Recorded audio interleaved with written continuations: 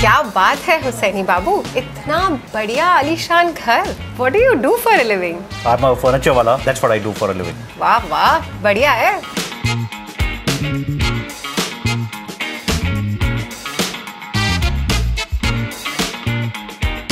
The special design team have done 100 plus studios across the country. So I'm sure this was a cakewalk for them.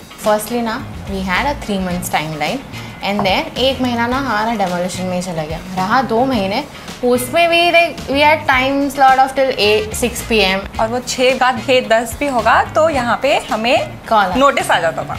But furniture के लिए तो हम sorted थे।